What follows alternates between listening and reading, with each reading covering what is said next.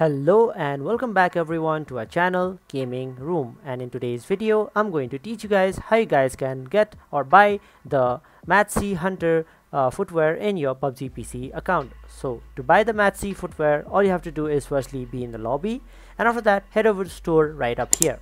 Now in store you can head over to items right here and after that go over to uh, clothing right here. Go over to feet right here and after that scroll down a bit until you find the Mat Silent Hunter right here.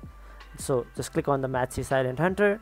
And right here where it says BP you can just click on it. It's not letting me buy because I don't have enough BP to buy it. But if I had it just click on it and right here a window will pop up where you can purchase it. So just click on purchase.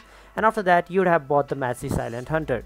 You can go over to your customize equip it and after that use it in game so this is how you guys can buy the Madsy Silent Hunter footwear in your PUBG PC game so thank you for watching. Make sure to like, share, comment and subscribe. And don't forget to hit the bell icon so you don't miss out on our next video. Also if there's any video that you guys want us to do then please comment it down below and we will do so for you guys. Thank you for watching and see you guys next time.